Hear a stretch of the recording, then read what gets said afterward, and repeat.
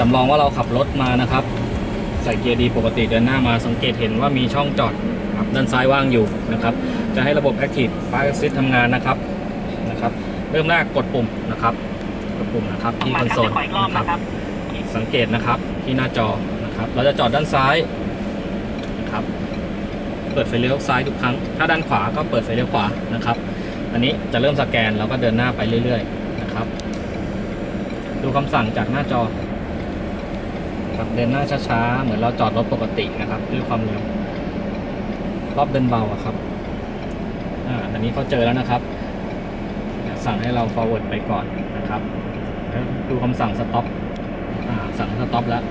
นะครับ สั่งให้เข้าเกียร์ถอยหลังนะครับ shift reverse นะครับแล้วก็เอามือจาะพวงมาลัยนะครับ เรามีหน้าที่ตอนนี้ก็คือคุมเบรกนะครับ คุมความเร็วด้วยเบรกให้รถเคลื่อนที่ไปช้าๆเหมือนรถรารถปกติเราก็ต้อง เคลื่อนเคลื่อนที่ช้า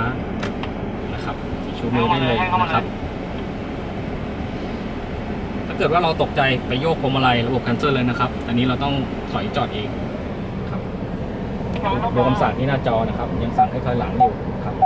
แล้วก็จะมีฟังก์ชันประกอบก็คือเซ็นเซอร์ถอยหลังนะครับ ที่ช่วยเสริมนะครับสังเกตก็สีเหลืองก็คือเข้าใกล้ด้านหลังแล้ว อันนี้คือจอดครั้งเดียวได้เลยนะครับ เข้าทีเดียวได้โอเค